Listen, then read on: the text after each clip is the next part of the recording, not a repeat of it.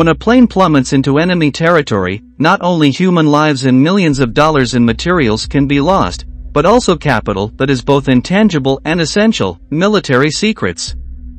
Throughout its history, the United States has suffered incredible losses that put its entire defense in jeopardy, revealing highly confidential secrets to enemies in different parts of the planet. From stealthy drones to stealthy fighters, today we're going to look at the shootdowns that most compromised the Pentagon, especially one that narrowly missed starting an unprecedented war. Everything about the Lockheed F-117 Nighthawk looks like something out of a Cold War spy movie. The Nighthawk was one of the most secret projects in the United States between the late 70s and early 80s, so much so that for its flight tests, the prototype traveled inside a C-5 Galaxy, far from curious eyes and indiscreet photos. Its development was kept so secret that the few civilians lucky enough to see its flight tests thought it was a UFO. They weren't so wrong, the Nighthawk did, after all, operate on several occasions from the Groom Lake base, popularly known as Area 51. So much mystery had a good reason, the technology implemented in the F-117 was unique, it was the aircraft with the greatest stealth capabilities built to date, a combat model that could penetrate enemy lines without being detected by practically any radar in service.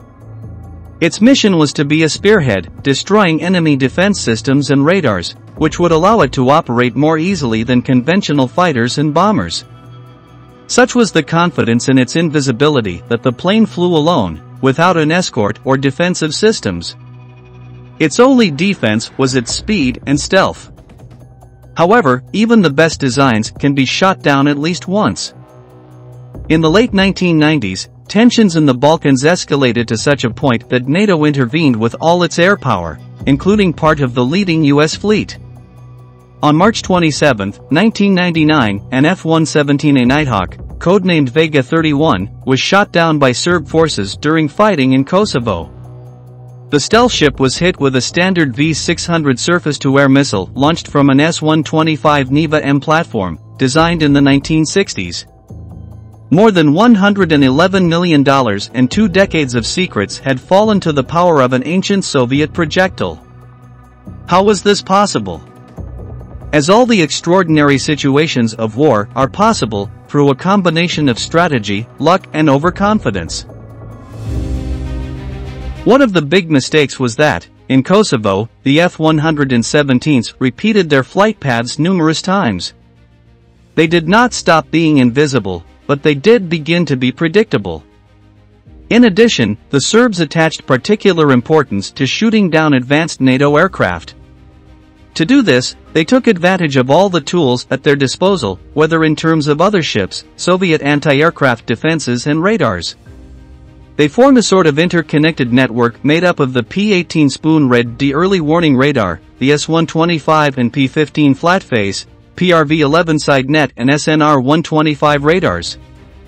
Combining all those frequencies, the chances of detecting the Nighthawk increased exponentially. To this must be added the misfortune, or overconfidence, on the part of the F-117A pilot, who opened the weapons system hatch, exposing the interior of his plane, which was highly detectable by the Serbian network. The SNR-125 radar detected the signal, beginning the attack. Two missiles were fired, the first passed by, the second exploded next to the plane, causing so much damage that the pilot was forced to eject. The aircraft plummeted and ended up in the hands of Serb forces, who finally got a close look at one of the most mysterious stealth fighters in history. The Nighthawk was not the only top-secret Lockheed stealth model the United States lost to a country with inferior military capabilities.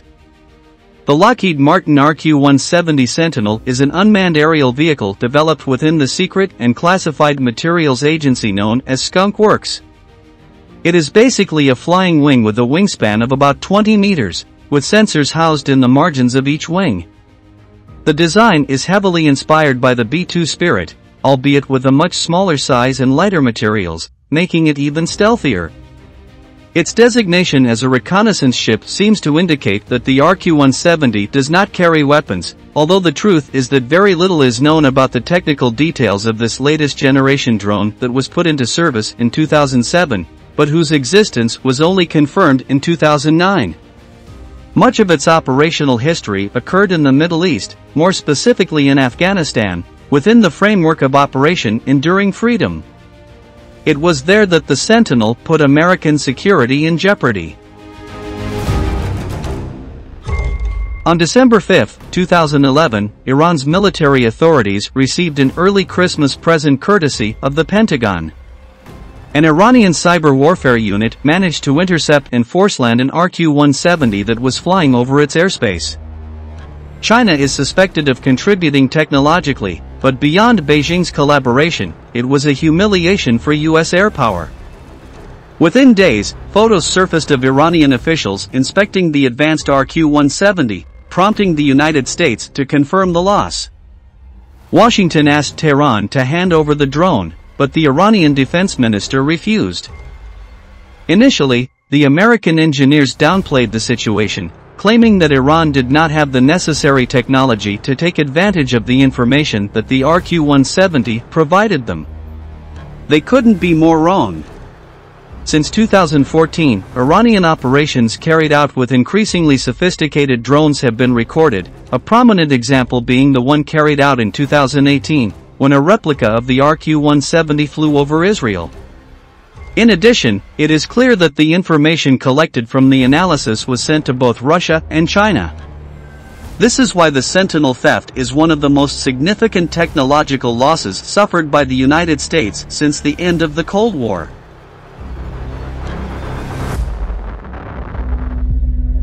And since we named that interesting historical period in which Washington and Moscow disputed world hegemony, it is an ideal opportunity to remember one of the most significant shootdowns in the history of modern military aviation, when a U-2 Dragon Lady was caught by the Soviet Union, something that almost unleashed a nuclear war between the two powers. Since the late 1950s, the United States had managed to establish bases in Pakistan from which it carried out reconnaissance flights over the Soviet Union. Thanks to that information, the US had correctly assessed the military power of its enemy. The Soviet Union was aware of these flights, in fact, in April 1960 they almost intercepted one of those aircraft. The problem is that the Soviet officers couldn't accept that the enemy had gotten away so narrowly, they had to capture it red-handed. They finally had their revenge on May 1, 1960, just two weeks before the Paris summit that sought to limit the nuclear growth of nations. That day, pilot Gary Powers took off aboard a U-2 to photograph ICBM silos. What he did not know was that much of the Soviet Air Force was alert, and when they detected the intruder, they fired with all their might. According to official sources, an S-75 Dvina missile was responsible for the shootdown, although this has also been a source of debate. What is certain is that the American pilot managed to eject, but without activating the self-destruct system, which allowed Soviet engineers to analyze in detail one of Washington's most powerful aircraft. Initially, the United States tried to cover up the shootdown, but the sun could not be covered by hand. The incident once again strained the relationship between the powers, throwing away years of difficult dialogue. Fortunately, nuclear war never broke out, and today part of the downed U-2 Dragon Lady can be seen in the Central Museum of the Armed Forces in Moscow, as one of the great trophies of the Cold War. Thus we come to the end of this video, these are just three of the many incidents where the most classified technology of the United States fell into enemy hands, endangering the entire North American defense. When it comes to war, no machine, no matter how modern, is infallible. If you like this content, we invite you to subscribe and activate notifications to be aware of our news. For the moment, we say goodbye until the next installment of Military Aviation.